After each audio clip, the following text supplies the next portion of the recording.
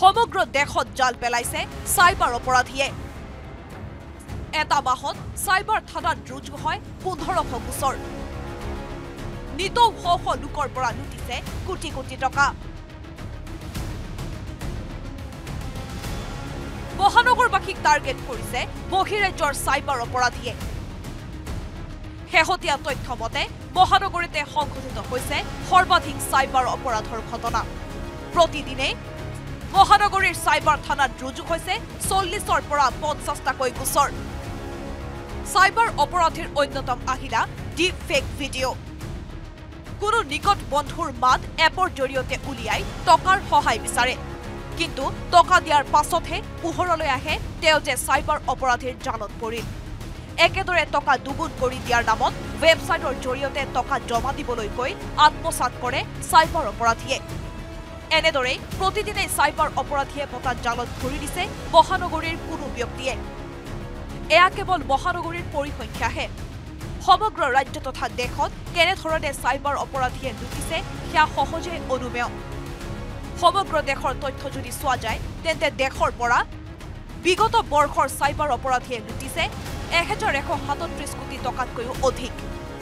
দেশত গোচৰ ৰুজু হৈছে প্ৰায় নব্বৈ হাজাৰ। কিন্তু কেনেদৰে জাল পেলাইছে চাইবাৰ অপৰাধীয়ে? সমগ্ৰ দেশৰ যিকোনো লোকক চাইবাৰ অপৰাধীয়ে লুটিবলৈ ব্যৱহাৰ কৰে। প্ৰায় চৌত্ৰিছ হাজাৰটা হোৱাটছএপ গ্ৰুপ ত্ৰিছ হাজাৰটা ৱেবছাইট পাঁচশ পঁচানব্বৈটা এপছ তিনি লাখ পঁচিছ হাজাৰ বেংক একাউণ্ট পাঁচ লাখ তিনি হাজাৰ চিম কাৰ্ড তথ্য মতে বহুসংখ্যক চাইবাৰ অপৰাধী কম্বোডিয়া ম্যানমাৰ আৰু লাওছত বহি সংঘটিত কৰে এনে অপৰাধ। কিন্তু এইসমূহ অপৰাধীৰ বিৰুদ্ধে ব্যৱস্থা গ্ৰহণ কৰিবলৈ গৈ দিক বিদিক হেৰুৱাই পেলাই বহু ৰাজ্যৰ আৰক্ষী। গতিকে চাইবাৰ অপৰাধীৰ পৰা হাত সাৰিবলৈ নিজে হ'ব লাগিব সজাগ আৰু সতৰ্ক। গুৱাহাটীৰ পৰা বিৰিঞ্চি কুমাৰ ডেকাৰ report News eighteen Assam North East.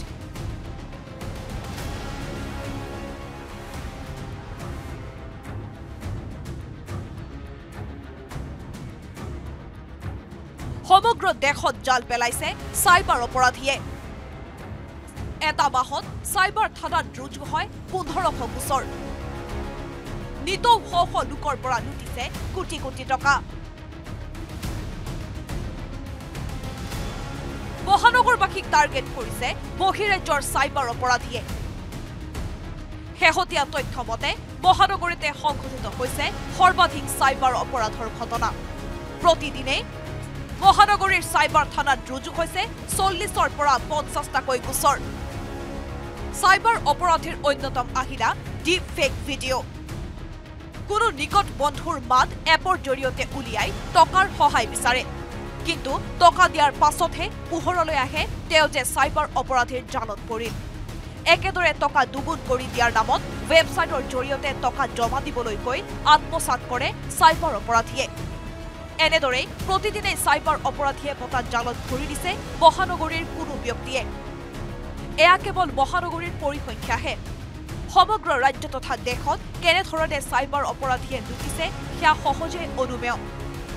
সমগ্ৰ দেশৰ তথ্য যদি চোৱা যায় তেন্তে দেশৰ পৰা বিগত বৰ্ষৰ চাইবাৰ অপৰাধীয়ে লুটিছে এহেজাৰ এশ সাতত্ৰিছ কোটি টকাতকৈও অধিক। দেশত গোচৰ ৰুজু হৈছে প্ৰায় নব্বৈ হাজাৰ। কিন্তু কেনেদৰে জাল পেলাইছে চাইবাৰ অপৰাধীয়ে?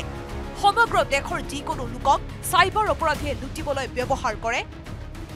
প্ৰায় চৌত্ৰিছ হাজাৰটা হোৱাটছএপ গ্ৰুপ ত্ৰিছ হাজাৰটা ৱেবছাইট পাঁচশ পঁচানব্বৈটা এপছ তিনি লাখ পঁচিছ হাজাৰ বেংক একাউণ্ট পাঁচ লাখ তিনি হাজাৰ চিম কাৰ্ড তথ্য মতে বহুসংখ্যক চাইবাৰ অপৰাধী কম্বোডিয়া ম্যানমাৰ আৰু লাওছত বহি সংঘটিত কৰে এনে অপৰাধ।